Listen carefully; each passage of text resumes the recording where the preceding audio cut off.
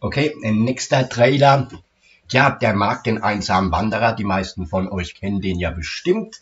Der hat jetzt in dem Set gestern, im ersten Set, mich interviewt und ich dann im zweiten ihn nochmal. Und ich denke, es wird euch gefallen. Es ist ganz gut geworden. Natürlich jetzt auch wieder ein bisschen länger durch diese zwei Teile.